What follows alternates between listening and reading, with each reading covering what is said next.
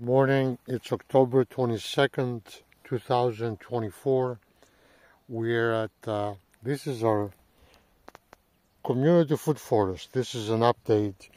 Uh, we have mentioned before that we tried planting almonds.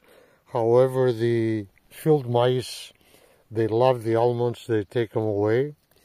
Uh, and based on the recommendation of our friend Hans Muster, uh, I built a small cage. The bottom, of course, without is open, so the root can go down.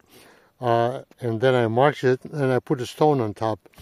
Uh, this is the second one out of 11 that they have taken away. Uh, they managed to move the stone and dig underneath. Uh, even though the stone, moving the stone seems kind of difficult for field mice. But nevertheless, if the stone was bigger, the animal wouldn't be able to go underneath uh, because the the rest of them, but 90% they have not been moved. So that's the update on that. We're going to plant maybe 30, 40 almonds, see how it goes. And here's an update on what we have growing. Uh, here we see this is the ground cover crop that we we plant. And I think this may be a uh, I'm not, not sure what kind of tree it is but you pull on it and it's alive. So that is nice to see. And then as we go along here we see another tree. This was transplanted bare roots. And here's another almond tree that was planted um, trying to find the trees because they're so small. They're here somewhere. There's an almond tree from the years past, maybe a couple years ago. We see how healthy it is and why we want to plant the uh, the almond trees.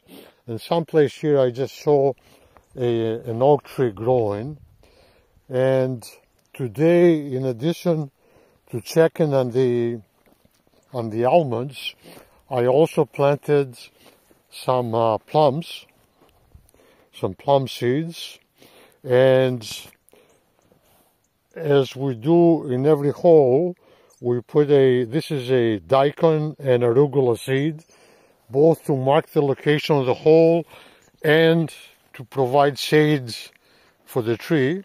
And right next to it, we planted some golden rain seeds. These are, uh, it's a nitrogen fixing tree and it's uh, beneficial to both for the land and the main tree. So this is what we have. This is, uh, the damage here took years to take place. It's not going to be corrected overnight. A um, couple weeks ago, I planted Calatheria seeds uh, all around the property. And I need to mention that uh, this is public land, and I'm planting this with the permission of the local authorities. I informed them that this is what I'm doing, and they said that's fine. They're happy to hear it. Here's another uh, location where we put the almond and we see that the the animal this is definitely a field mice came in dug up and they couldn't they couldn't dig it out. So this is the story of what we have so far. We have small trees growing everywhere and we're going to continue to place seeds. And the objective here is to do everything. This is not coming out. This is well rooted. To do everything uh, with low cost, low cost in time and money. So that's what we're trying to do. Thank you.